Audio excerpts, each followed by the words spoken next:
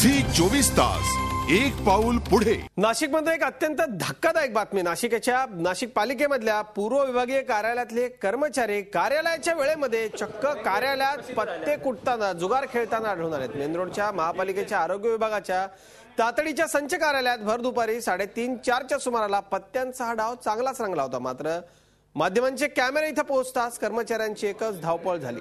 कुणी तोंड लपवत होतं कुणी पत्ते लपवत होतं. अखेर टेबलवरच पत्ते टाकून हे जुगारी कर्मचारी फरार झाले. कार्यालयाच्या बाहेर एक कर्मचारी पत्त्यांचा काट लपवताना कॅमेरामध्ये कैद झाला. इतकं होऊन देखील तंबाखू मळण्याची आणि खाण्याची हौस हे कर्मचारी पूर्ण करत होते.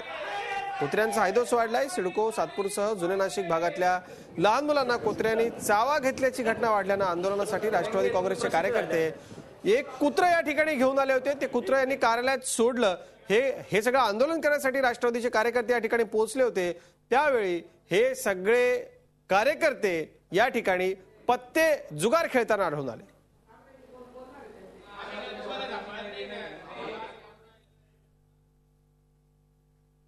झी चोवीस तास एक पाऊल पुढे.